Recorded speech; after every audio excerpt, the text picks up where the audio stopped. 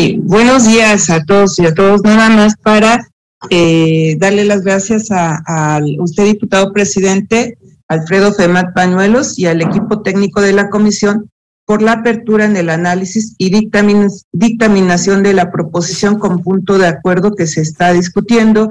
Y este exhorto, nada más quiero decirle a mis compañeras y compañeros diputados que aborda un problema crucial que actualmente ponen en grave riesgo el patrimonio y la integridad de las personas, así como a la seguridad de las naciones y a los propios estados en todo el mundo. En efecto, se trata del fenómeno de la delincuencia cibernética, que es capaz de intervenir y apropiarse de sistemas, programas y aplicaciones tecnológicas.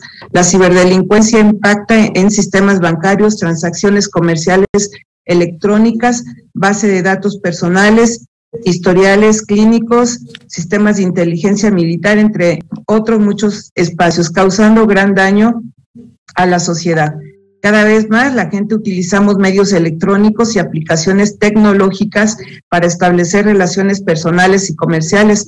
Más de cuatro mil millones de personas en el mundo están conectadas y por ello la ciberdelincuencia explota ese universo a través de innumerables delitos. Los ataques de la ciberdelincuencia también se enfocan en cuestiones como ciberterrorismo y demás amenazas a la seguridad nacional.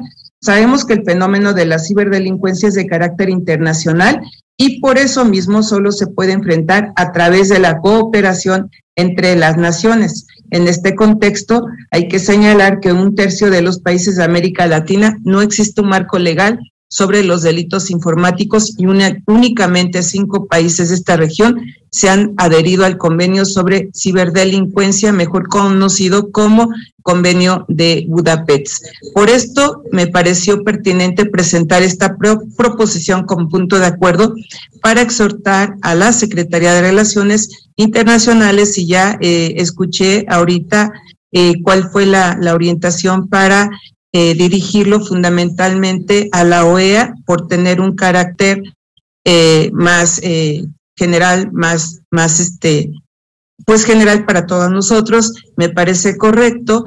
Por lo anterior, pues quiero pedirle a los compañeros pues que nos apoyen para que se crea esta, este punto de acuerdo para que la ciberseguridad pues sea un un acto que sea consciente y que nos beneficie a todos nosotros. Es cuanto, eh, compañero diputado presidente. Muchas gracias.